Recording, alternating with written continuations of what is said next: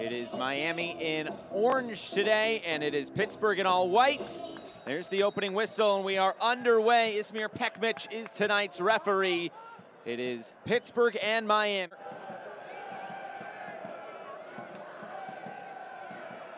The youngster will take it. He goes for goal, and he scores! What a strike! Tommy Williamson! It's a brilliant opener for the Riverhounds.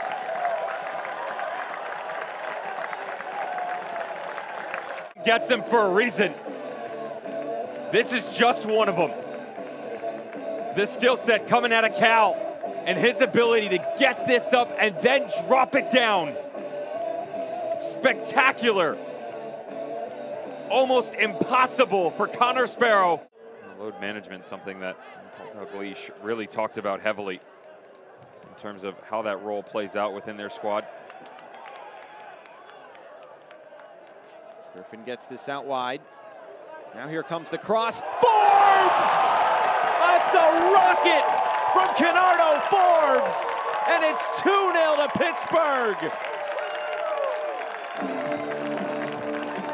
Dear Lord. As it comes back across, Kenardo Forbes just takes full aim. Everybody talks about King Kenny and what he can do from distribution. Pick out that upper 90 and go for glory.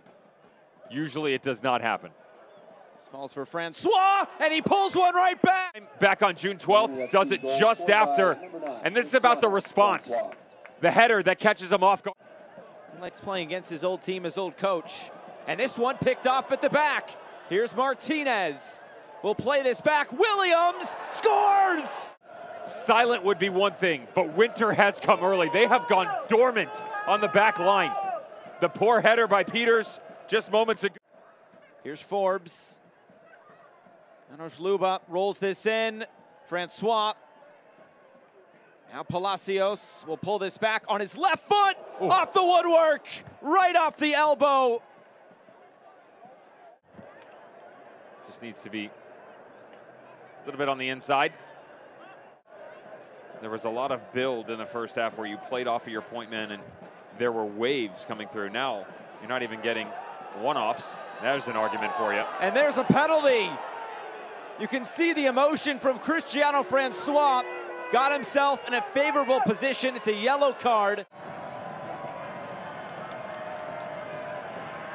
Williams scores!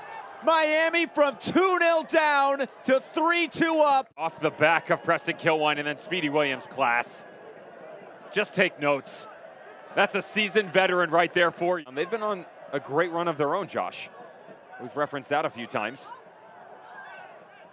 It's a statement for them. A statement for them that in the same time last year could not buy a result.